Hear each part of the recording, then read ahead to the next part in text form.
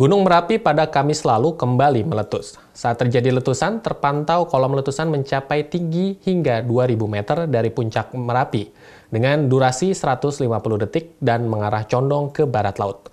Meski terjadi letusan, warga sekitar tetap beraktivitas seperti biasa.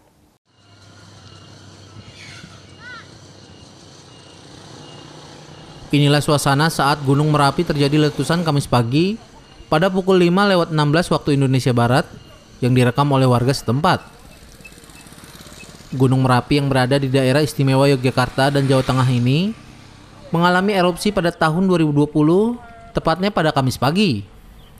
Sebelumnya, Gunung Merapi juga pernah erupsi pada tahun 2018 dan tahun 2019.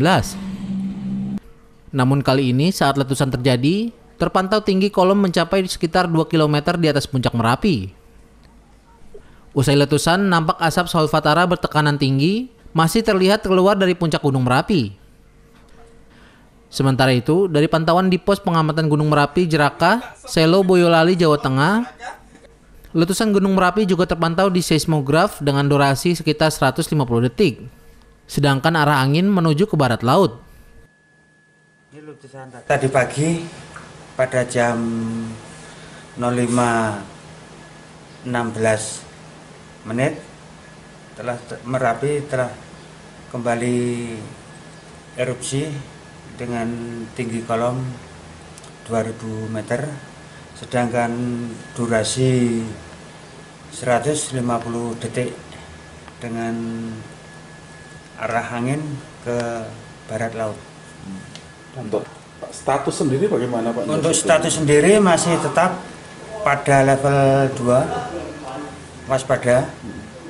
Jadi aktivitas erupsi pada pagi hari ini kemungkinan sama dengan tahun yang lalu atau dua tahun yang lalu dari 2018 2019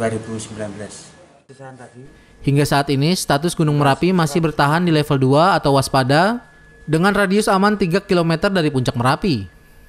Status Gunung Merapi dinyatakan waspada sejak 21 Mei 2018 atau sudah hampir 2 tahun ini. Meski begitu, aktivitas warga sekitar masih seperti biasa, namun petugas menghimbau kepada para warga untuk berhati-hati dan tetap waspada. Mas Agung Ramantio memberitakan dari Boyolali, Jawa Tengah.